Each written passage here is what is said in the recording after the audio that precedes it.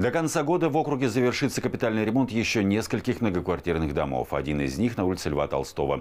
Там идет утепление фасада здания. На сегодняшний день выполнено 30% от общего объема работ. Подробности у моих коллег. Хорошо, делаем, довольны.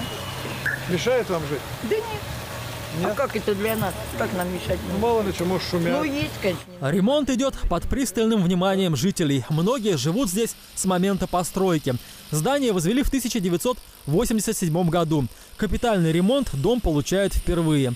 Работы еще не завершены, а эффект уже ощущается. Мы пообщались с жителями. Э, Даже там, где уже э, закрыли, стены утеплили, э, люди ощущают, стало теплее. Площадь стен более 9 тысяч квадратных метров. Дом увешан строительными люльками. В бригаде 20 человек.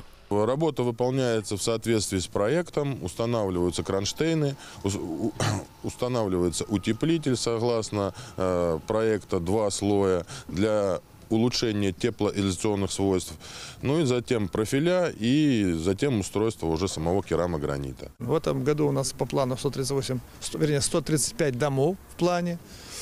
Вот сегодня мне говорят, э, статистика такова, что 97 домов мы уже сделали полностью, и э, 38 домов, они в ремонте. Все материалы отечественного производства.